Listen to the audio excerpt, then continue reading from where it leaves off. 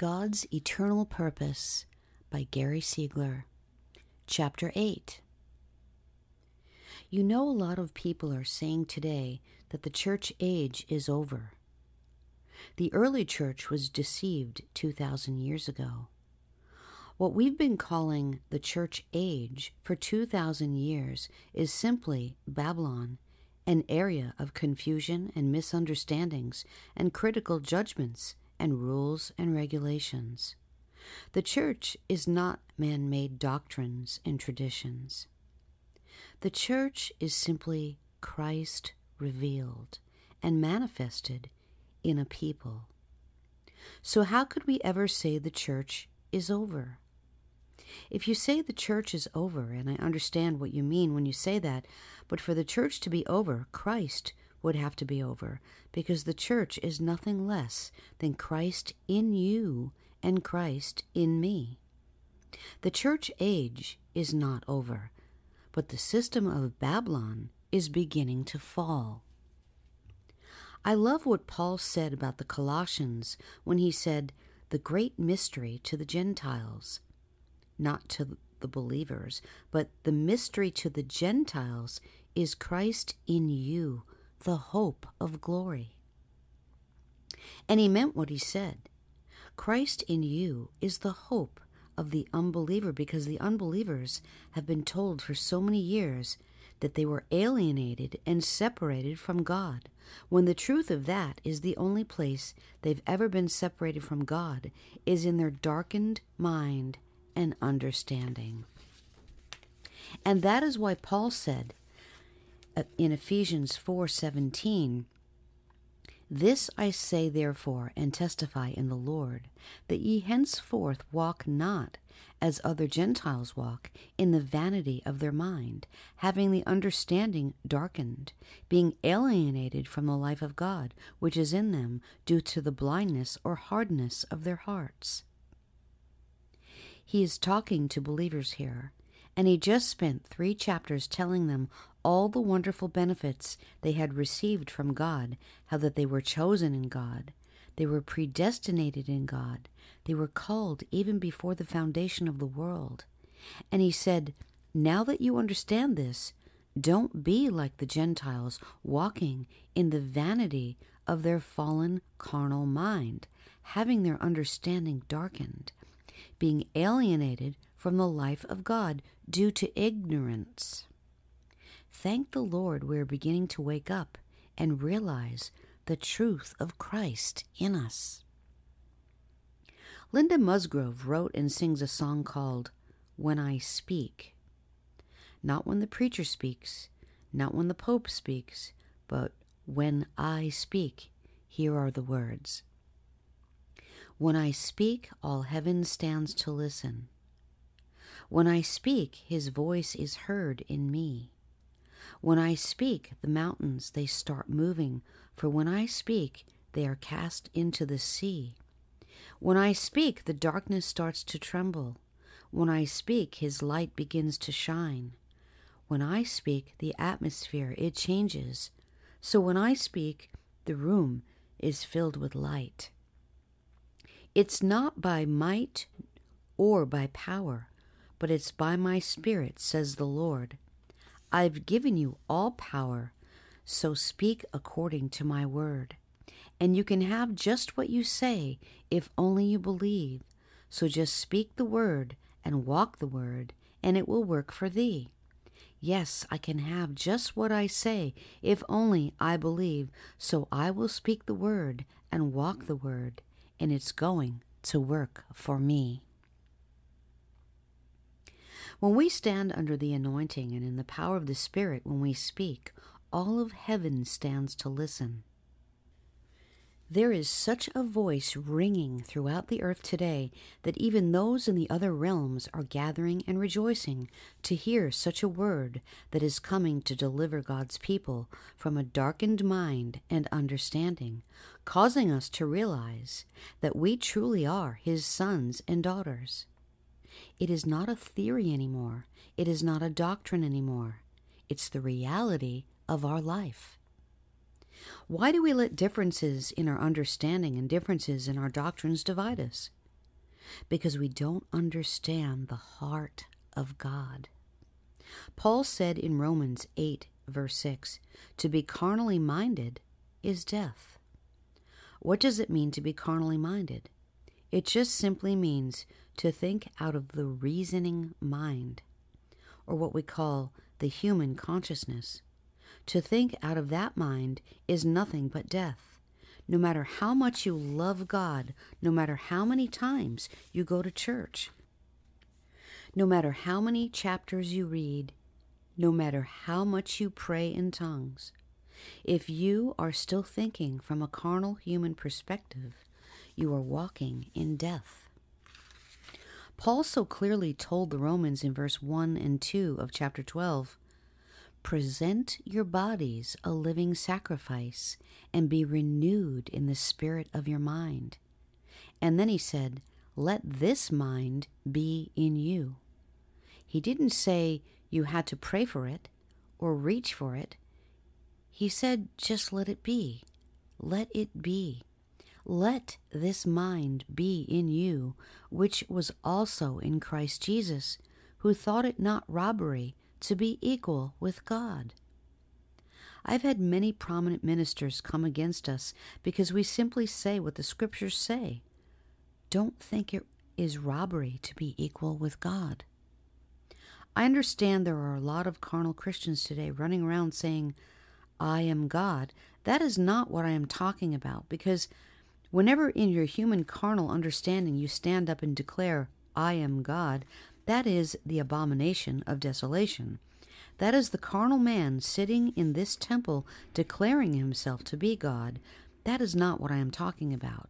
I'm talking about the veils of the flesh begin to be pulled back from our darkened mind and understanding, and we begin to function out of the mind of Christ. Then we can say, I am the manifestation of God on this earth. I am the light of this world. And when I speak, the darkness begins to flee and the room fills with light. Oh my God, what a life! Religion has never ever produced a solution for the religious mind. We are always trying to somehow make ourselves better and more acceptable to God, and it's just a waste of time. You will never be any more righteous. You will never be any more holy you will never be any closer to God than you are right now. The only reason we don't experience that is because of the darkened mind and understanding. We've had 2,000 years of religious teaching, and we are still in Ephesians 4, verse 17, with a darkened mind and understanding being alienated from the very life and source of God that is in us because of the darkened mind and understanding. Thank God the Son, S U N, Son, S O N, is beginning to rise. Life in the Spirit is simply a personal leading of God in your spirit. It is so simple and it is so easy to walk in the reality of the kingdom. Just begin to listen for the voice of God. Oh, it's the most marvelous life that we have. For years I tried everything I could possibly do to make myself holy. I never read less than 10 chapters a day because I was told when I went into Pentecost, Gary, you need to do a couple things. You need to read 10 chapters a day and pray in tongues for an hour a day, and your problems will be over. I did that for 13 years, and my problems didn't end. We are always trying to save ourselves by what we do rather than by believing what Jesus did. Romans 5:10 says this, "For if when we were enemies, we were reconciled to God by the death of his son, much more being reconciled, we shall be saved by his life." There is only one thing that will ever save anybody, and that is we shall be saved by His life. Since we are saved by His life, what can we do to make that happen? We simply need to believe it. If we could just believe some of the simple things that Jesus taught, you can learn so much today off the internet, but you cannot learn to be a manifestation of God on this earth. We must have a revelation that we're already a manifestation. I'll never forget years ago I heard from the Spirit, You've been trying so hard to be something that you've always been. Stop trying and just be. As you stop trying and you just be, you will experience what your heart is longing for. Salvation really is just falling in love with Jesus. You say, How can I do that? How can I really love him? Well, Paul says this The first man, Adam, was made a living soul. You see, Adam wasn't created a living soul. Adam was created in Genesis chapter 1 in the very image and likeness of God. He was God's manifestation. But that first man became a living soul. How did that happen? He fell in his understanding and he began to live a life that was separated and alienated from God by learning to choose the good over the evil. God said, The very day that you eat from that tree of the knowledge of good and evil, you will die. So the first man that was created in the image and likeness of God was literally God in manifest form. He then became a living soul, but it says the last man, Adam, became a life giving spirit. So, how could we fall in love with Jesus?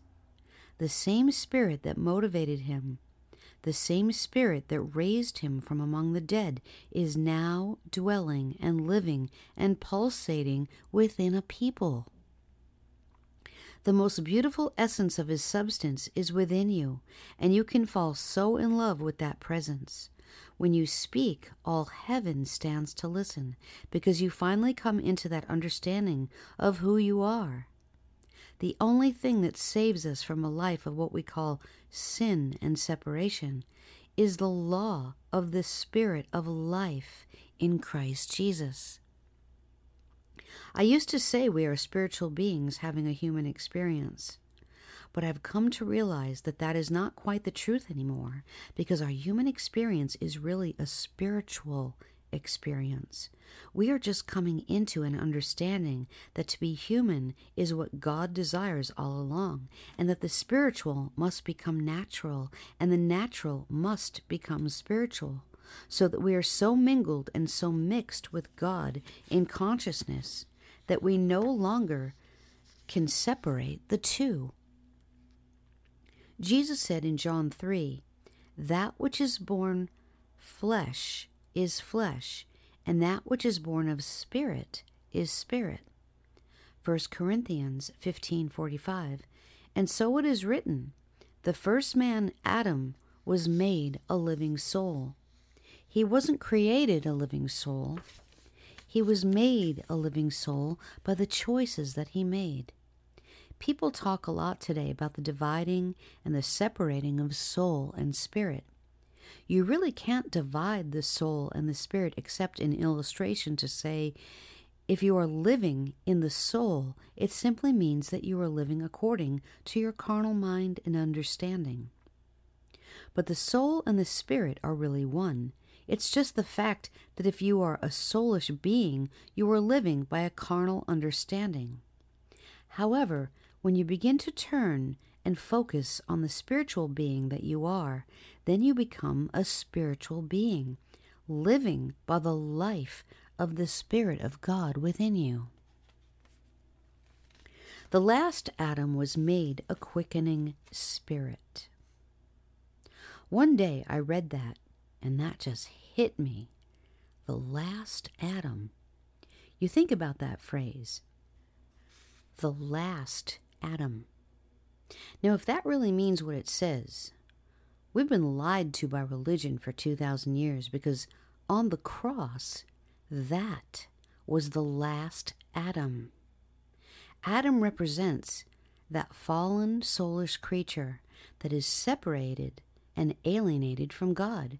And that is why religion has taught us that we're born in sin and conceived in iniquity. If that scripture means what it says, that Jesus was the last Adam, that means that you were not born in sin and alienated from God. You just believed that because that is what you've been taught and that is your experience.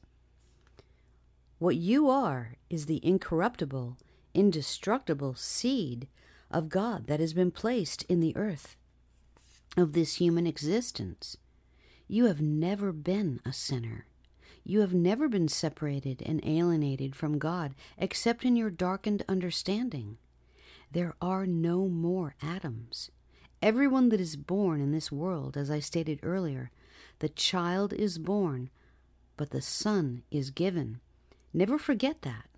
You see, your mother had a child that is born a fleshly human being, but you weren't born, you were given. The Spirit was given. In John 20, 22, Jesus, on his resurrection day, he just appeared amongst his disciples and he breathed on them and said, Receive ye the Holy Spirit. When he breathed on them, their spirit was quickened, and they began to walk as a new creation man. Whatever Adam did that caused him to come into a human understanding, separated and alienated from God, so that no longer could he walk in total union and oneness with God, was reversed in John 20 22, when Jesus breathed on them and simply said, Receive ye the Holy Spirit. That is what all of us experience when we experience what some call the new birth, being born again, being saved, or being regenerated. How many Christians would say, I've been born again, if asked? They say, Yes, I have been born again. How can we say we are born again, but be so divisive, full of anger and bitterness? To be born again means just that. There is a new life that comes forth within you and overcomes all the negative things in our lives as we submit the leading of the Spirit. It is not self effort, but it is becoming conscious of a new life within. I think Peter, at least in this instance, had a better understanding. He said, Ye are being born again, not of corruptible seed, but of incorruptible, by the living and abiding Word of God. We are being born again. And Jesus said, To be born again, you are like the wind. Nobody knows where it comes from, nobody knows where it goes. We are beginning to experience some of those things now, just like finding ourselves in places when we don't know how we got there. I've had people call me and tell me that I came to them and ministered to them, and I don't even have any recollection of it. What we have all experienced up to this point is not being born again. We have experienced regeneration. Why does the scriptures use that term regeneration? You cannot have regeneration unless at one time you were generated. Some people say, I don't believe in pre existence. I don't believe I was with God from the foundation of the world. And I say, Well then, who were the sons of God that shouted for joy when they saw the creation? If we were not with God from the creation of the world, why would you need to be regenerated? We haven't understood some of the simplest things. 1 Corinthians 6, verse 17 says, he that is joined unto the Lord is one spirit. I was taught for years that I had a human spirit, but it was not divine. That was before I understood I don't only have a spirit, I am a spirit. I am a spirit, not I have a spirit. He that is joined unto the Lord, he that has the regeneration experience, is one spirit. There are not two spirits. There never will be two spirits. There is only one spirit. When you become conscious of that and you focus on the true nature of your being, that is when you can say, When I speak, all heaven stands to listen, because the magnificence of His glory is being revealed in a people. How did we miss it? All we can say is that it just wasn't the time, but this is the time There have always been people down through the ages that have had this understanding. We are born again by the living and abiding Word of God. As God speaks to you, the Word quickens you, energizes you, and causes new desires within you. As God speaks, you sense the unfathomable love of all creation. As God speaks, you hear things like, quote, I love you with an everlasting unconditional love. I only see you as perfect because that is the way I brought you forth. I will remind you that as far as the east is from the west, so far have I removed your transgressions. Awake from the dust of human thinking. Arise and put on your beautiful garments of righteousness, peace, and joy. Stop trying to be perfect as you can be nothing else. Your perception of yourself as less than I have made you is to be is but a lie. You are my hidden treasure, soon to be manifested to the world. So arise and let your light shine, so those you meet will in reality be meeting me. They are waiting for you, so do not hide your light, but let it shine with the magnificence of my presence. Unquote.